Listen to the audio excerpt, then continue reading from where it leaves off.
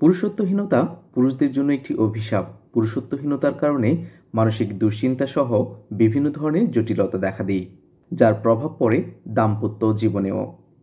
আজকের আলোচ্য বিষয়, পুরুষত্বহীনতা দূর করতে চাইলে যে কয়েকটি নিয়ম আপনাকে অবশ্যই মানতে হবে।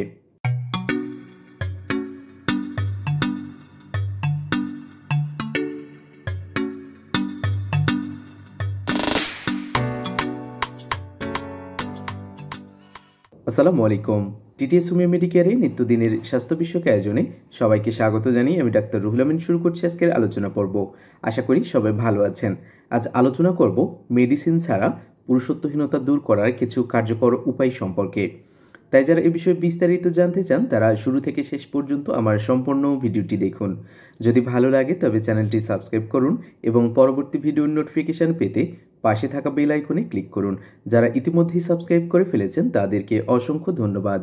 পুরুষত্বহীনতার কারণে বিভিন্ন ধরনের জটিলতা দেখা দেয়। এর প্রভাব পড়ে আমাদের দাম্পত্য জীবনেও। এবার চলুন জেনে নেই কিছু নিয়ম সম্পর্কে, যেই নিয়মগুলো মেনে চললে পুরুষত্বহীনতা দূর করা যায়।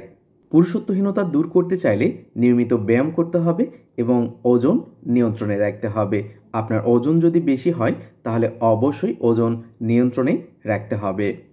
আপনার যদি পুরুষত্বহীনতার সমস্যা দেখা দেয় এবং আপনি যদি ধূমপায়ী হন, তাহলে অবশ্যই ধূমপান ত্যাগ করতে হবে। যদি মদ্যপানের অভ্যাস থাকে, তাহলে অবশ্যই মদ্যপান এড়িয়ে চলতে হবে। পুরুষত্বহীনতা দূর করতে চাইলে অবশ্যই খাবারের দিকে নজর রাখতে হবে, কারণ খাবার থেকেই আমাদের শরীরে শক্তি আসে। নিয়ম করে পুষ্টিকর এবং স্বাস্থ্যসম্মত খাবার খেতে হবে। যদি উচ্চ রক্তচাপের সমস্যা থাকে এবং এটার কারণেই যদি পুরুষত্বহীনতা দেখা দেয়, তাহলে অবশ্যই রক্তচাপ নিয়ন্ত্রণে রাখতে হবে।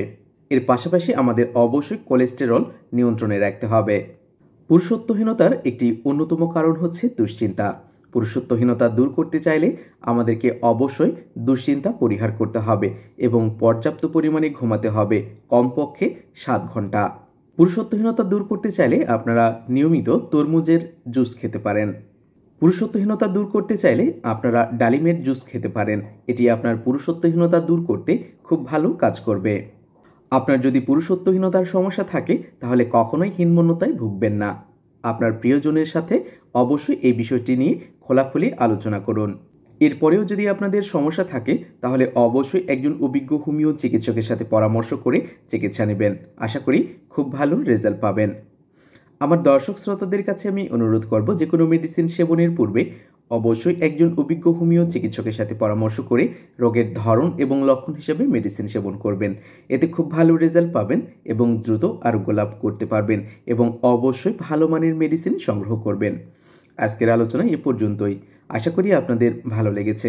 ভিডিও সম্পর্কে আপনার মূল্যবান মতামত এবং আপনার সমস্যার কথা কমেন্ট করে লিখে জানাতে পারেন। এছাড়া আমাদের সাথে যোগাযোগের ঠিকানা, মোবাইল নাম্বার এবং ইমেল অ্যাড্রেস ভিডিওর ডেসক্রিপশন বক্সে দেওয়া আছে। আমার ভিডিও থেকে যদি আপনারা উপকৃত হয়ে থাকেন, তবে আমার চ্যানেল এখন পর্যন্ত সাবস্ক্রাইব না করে থাকলে সাবস্ক্রাইব করুন এবং পরবর্তী ভিডিওর নোটিফিকেশান পেতে পাশে থাকা বেল আইকনে ক্লিক করুন। আপনাদের সুস্থতাই আমার কাম্য। সুস্থ থাকুন, ভালো থাকুন।